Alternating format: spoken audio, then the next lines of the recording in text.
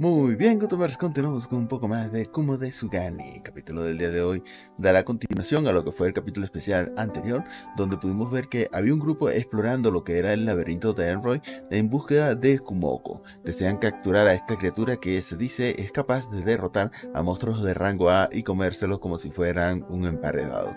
Sin duda alguna, nuestra pequeña arañita ha empezado a llamar la atención de todos los países y ahora todos quieren hacerse con su poder. Mas, sin embargo, esto no es tarea fácil. El día de hoy veremos la continuación de esta pequeña parte. Espero la disfruten y de ser así, recuerden apoyarnos con un like, comentarios y experiencias que están por acá. No olviden suscribirse y activar las notificaciones. Como siempre, un agradecimiento muy especial a los miembros del canal que nos apoyan con su membresía y un recordatorio a todos ustedes de que si comparten este o cualquiera de nuestros videos con tus amigos en redes sociales, nos ayudan también increíblemente a seguir creciendo. Estoy contando con todos ustedes para ello. Y así nada más que decir, simplemente comencemos.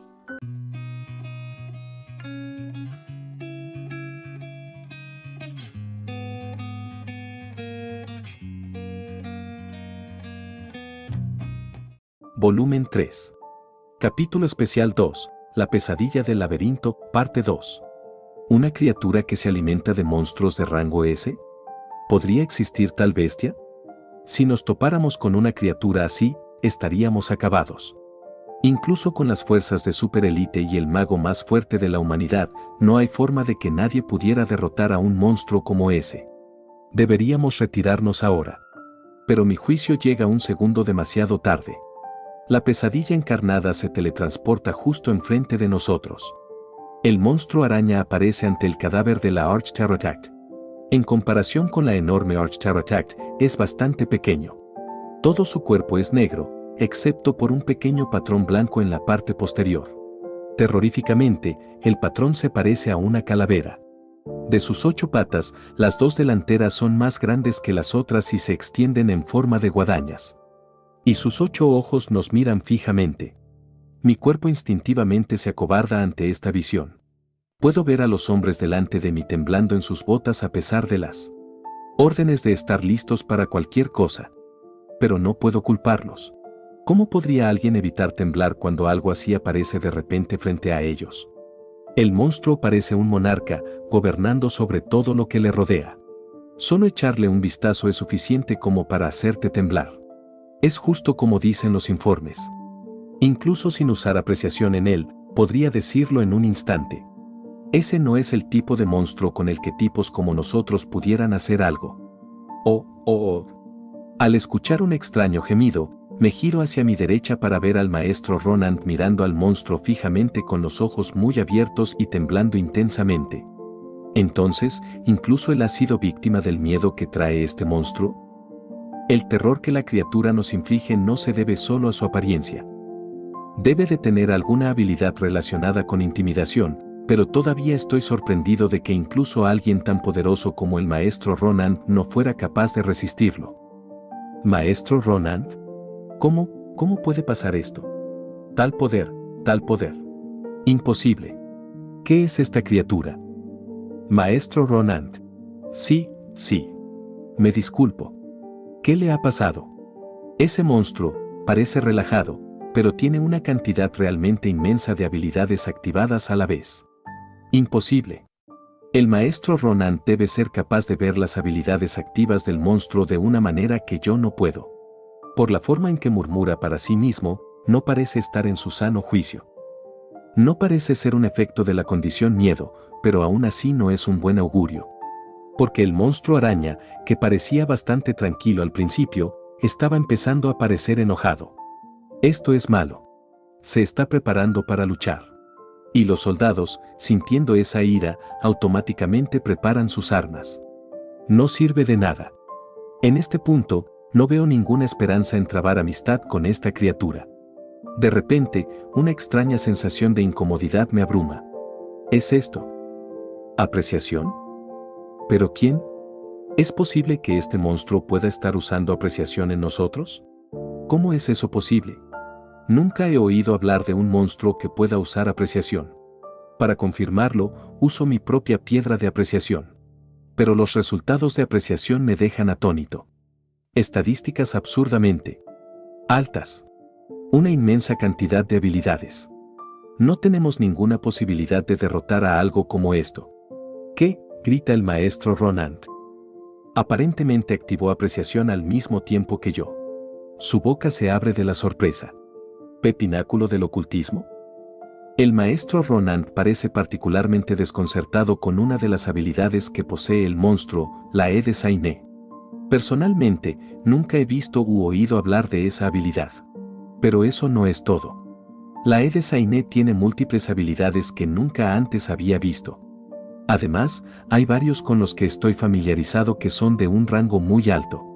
Y ese todavía no es el final de mi conmoción.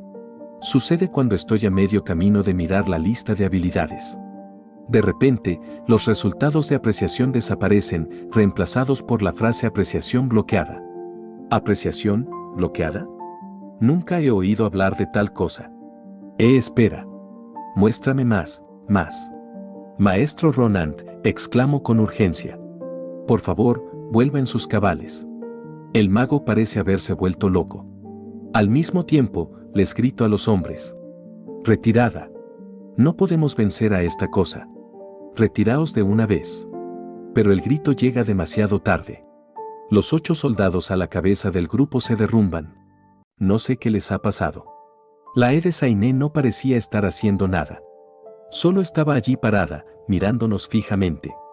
Y, sin embargo, eso fue suficiente como para que ocho hombres cayeran sin previo aviso. ¿Qué tipo de habilidad es esta? Como no pude ver todas las habilidades de la criatura, no tengo ni idea de qué lo está causando. Pero de cualquier manera, ese monstruo no se detiene allí. La Etzen empieza a hacer algo extraño. Es como si se estuviera despegando de su propia piel. Esa bizarra visión aterroriza a los soldados. Uno de los soldados, superado por el miedo de ver caer a sus camaradas, ataca a la E de Sainé. Pero su espada nunca alcanza a la criatura, sino que se rompe en un muro de tierra que se eleva en el suelo. Espera. Por lo que vi en la lista de habilidades, el monstruo no parecía tener magia de tierra. Había un tipo del que nunca había oído hablar, magia abismal, pero creo que vi todas sus otras habilidades mágicas. Y la magia de tierra definitivamente no estaba entre ellas. ¿Qué? grita Ronald. ¿Ha creado magia de la nada sin usar una habilidad? No puedo creer lo que oigo. ¿Es eso realmente posible?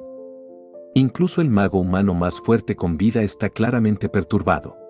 No, esto no puede ser algo normalmente posible. Este no es momento para ser tacaño con mis habilidades. Tengo que sacar a la luz todas mis cartas de triunfo si tengo alguna esperanza de sobrevivir. Incluso entonces, me consideraré afortunado si lo logro. Invocación. Mi habilidad de invocación está al nivel 4. En otras palabras, puedo invocar a un total de cuatro monstruos en este lugar. Mi mayor esperanza es usar a los monstruos para ganar tiempo para que los soldados escapen. Pero ¿cuánto tiempo podría contener a una bestia como esa? Aparecen mis monstruos invocados. Kirekok, un monstruo pájaro. Tortuga de tierra, un monstruo tortuga. Feberot, un monstruo tigre. Suiten, un guayber de agua. Todos ellos monstruos poderosos, los cuales normalmente no usaría a la ligera. Lo siento, disculpadme todos. Al ataque. Cuando ordeno a mis monstruos invocados que ataquen, una vez más les grito a los soldados que se retiren. La magia de viento de Kirekok lanza un golpe directo en la E de Sainé. Al principio esto me sorprende, pero cuando el polvo levantado por el ataque mágico se despeja, entiendo el porqué. La E de Sainé está ilesa. Para ese monstruo, ni siquiera valía la pena esquivar la magia del Kirekok. Aún así, nos consiguió algo de tiempo. Gracias al ataque principal del Kirekok, la lenta tortuga de roca ha llegado a las líneas del frente. La alta defensa de la tortuga de roca es su ventaja principal. Con el escudo en su puesto, los otros tres monstruos comienzan sus ataques. La magia de viento del Kirekok desciende desde el cielo, mientras que el aliento de agua de Suiten trae una explosión de vapor hirviendo. Feberot ataca directamente después de que los dos primeros disparos den en el blanco. Su excelente velocidad y su alto poder de ataque se exhiben mientras salta hacia la E de Sainé. Una lanza de tierra se eleva del suelo a su encuentro. Incapaz de reaccionar a tiempo a su repentina aparición, Feberot es atravesado por la lanza. Inmediatamente después de eso, Kirekok se cae del aire. Tan rápido como si algo lo hubiera derribado. Se estrella violentamente contra el suelo, emitiendo un sonido desagradable al hundirse. ¿Qué está pasando? Así como así, Kirekok es aplastado por una fuerza invisible. Mientras tanto, Suiten continúa desatando su aliento de agua. Pero la Ede Sainé parece completamente despreocupada. Lentamente se gira hacia Suiten y lanza un hechizo de magia de viento. Primero tierra, y ahora viento. Mientras miro en estado de shock, la magia de viento hace desaparecer el ataque de aliento y a Suiten junto con él. Solo queda la tortuga de roca. Pero no se está moviendo. No puede. Al usar apreciación para determinar la causa de su extraño comportamiento, descubro que ahora tiene la alteración de estado parálisis.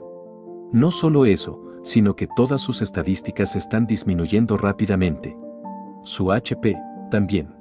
En solo unos pocos instantes, la tenaz tortuga de roca se reduce a un cascarón. Mis bestias invocadas, que han superado tantas pruebas conmigo, todas han sido masacradas. Y sin embargo, no es ni tristeza ni ira lo que domina mi mente en este momento. Es miedo. Vergonzoso e inexcusable hacia las pobres bestias que murieron por mí. Pero incluso sabiendo eso, no puedo resistir el miedo que brota desde lo más profundo de mi ser. Quiero huir de este lugar ahora mismo. Sin embargo, como líder de la fuerza, no puedo huir antes de que mis subordinados puedan escapar. Mis soldados comenzaron a evacuar en el poco tiempo que los monstruos invocados les ganaron a costa de sus vidas. Pero no fue lo suficientemente rápido. Ellos golpearon al maestro Ronant en la cabeza para que volviera en sí mismo y él ha comenzado a preparar magia de teletransporte a gran escala para evacuar a las tropas. Aún así, tendrá que pasar algo de tiempo antes de que todas las tropas estén al alcance del hechizo de teletransporte. Solo quedan unos pocos segundos pero en esos segundos se desarrolla una pesadilla. Las magias de tierra y viento vuelan salvajemente. Parecen estar disparándose al azar, pero cada disparo toma la vida de un soldado más. Otros soldados se desmayan sin ni siquiera ser golpeados. Es el mismo misterioso ataque que derribó a la tortuga de roca. Un ataque que pudo drenar incluso el alto HP de la tortuga de roca en un instante. Incapaces de soportarlo durante tanto tiempo, los soldados se desmayan uno tras otro. La magia vuela hacia el maestro Ronant mientras prepara la magia de teletransporte. Sabiendo que mi MP se acabará pronto, invoco a más monstruos para proteger al maestro Ronant. Los ataques mágicos vienen una y otra vez. Cada una de las veces, invoco a otro monstruo. Bebo una poción de recuperación de MP, luego otra. Invoco mientras bebo mi MP se recupera gradualmente. Sin embargo, la cantidad consumida es mayor a la cantidad recuperada. Un hechizo, una invocación, un hechizo, una invocación. Después de innumerables repeticiones, finalmente me quedo sin bestias que invocar. Y aún así, los ataques mágicos no se detienen. Por el contrario, claramente hay incluso más que antes. Mientras busco soluciones, descubro que Ronant y yo somos los únicos dos que quedamos vivos. Maestro Ronant. No tenemos otra opción. Al menos nos regresaré a nosotros dos con vida. Ronand intenta activar el hechizo de teletransportación, pero la E de Sainé aparece directamente delante de él.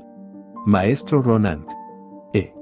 Una lanza de color negro azabache se dispara hacia él.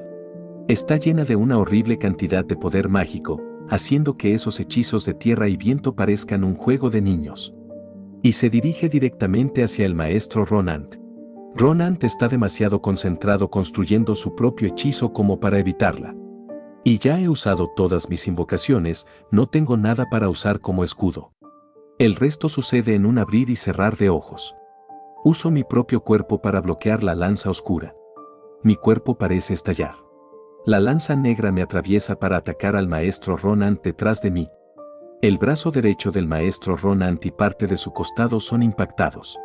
Interponerme en su camino debe haber alterado su trayectoria un poco. El maestro Ronant se ve angustiado mientras activa el hechizo de teletransporte. El mundo que me rodea se deforma. Cierro los ojos instintivamente y cuando los abro, ya no estamos dentro del laberinto. G. La gente se reúne a nuestro alrededor en estado de shock. Alguien, traed objetos curativos o mágicos, ordena el maestro Ronant, su rostro está retorcido de dolor. Este debe ser el laboratorio de investigación mágica del imperio, entonces. Inmediatamente hay un clamor a nuestro alrededor. Debes aguantar un poco más. El maestro Ronan usa magia de recuperación sobre mí. Casi la mitad de la parte superior de tu cuerpo ha sido destruida. Me sorprende que estés vivo. Ji-Yuach. Intento decir algo, pero todo lo que sale de mi boca es sangre. Mi cuerpo lentamente comienza a recuperarse. Mi HP sale poco a poco del rojo también. Mientras el maestro Ronant ignora sus propias heridas para curarme, otros curanderos se apresuran a tratarlo. Tomo un solo respiro, completamente exhausto. Hubo una gran cantidad de sacrificios, pero sobrevivimos. ¿Qué tiene de bueno ser el mago humano más fuerte? No pude hacer nada, nada. A medida que mi conciencia se desvanece, la voz amarga de Ronan resuena. Desagradablemente en mis oídos. Sin duda alguna bastante impactante todo esto suceso. Esto tuvo lugar, por supuesto, en la versión animada, pero vemos entonces que el motivo por el cual estas personas fueron hasta, hasta el Gran Laberinto fue para investigar a como por haber derrotado a esas Arch Sartek que vimos en el capítulo anterior. Esto en verdad estuvo bastante interesante ver este photo view donde pudimos intensificar un poco más los pensamientos de estos personajes que estaban sufriendo de esta situación. Sin duda alguna, el anime trajo este contenido, pero acá se profundizó increíblemente mucho más. Espero lo hayan disfrutado y de ser así, recuerden mi YouTube apoyar el contenido con un like, un comentario, compartirlo con sus amigos, ya que eso mucho nos ayuda. En breve vamos con mucho más, pero aquellas personas que no quieran esperar a que liberemos el contenido, recuerden que desde rango membresía Noble en adelante pueden disfrutar del beneficio de ver el contenido de forma adelantada. Los que no, recuerden que también tenemos dos canales hermanos más, los enlaces están en la descripción donde podrán ir para disfrutar de muchos más videos que tenemos para ofrecerles por allí de otras series que sin duda alguna están bastante interesantes también. Y así nada más que decir, soy Sarah Gutenberg y nos vemos en el siguiente resumen. Hasta luego.